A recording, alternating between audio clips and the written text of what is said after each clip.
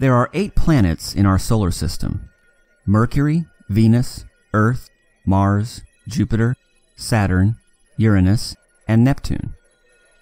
And in between Mars and Jupiter lies an asteroid belt. This picture shows the asteroid Ceres, right here, which was discovered in 1801 and is only about 600 miles across.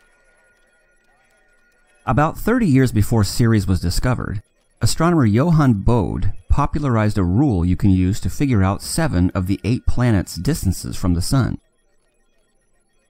This is now known as Bode's Law, and it goes like this. Start with 0, 3, and then double the numbers after that.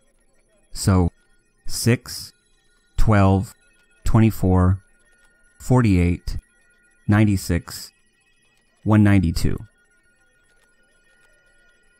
Now add 4 to each of these numbers. 4, 7, 10, 16, 28, 52, 100, 196. Finally, divide each number by 10.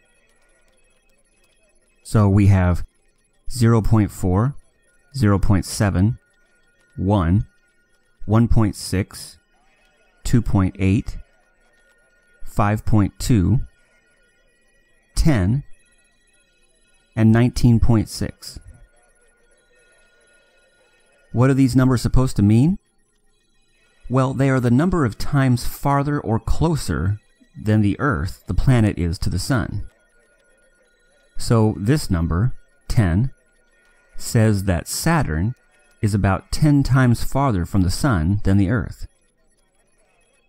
And this number, 0.4, says that Mercury is about 4 tenths or 2 fifths as far from the Sun as the Earth. But this is only a numerical rule. The actual distances are shown below each planet.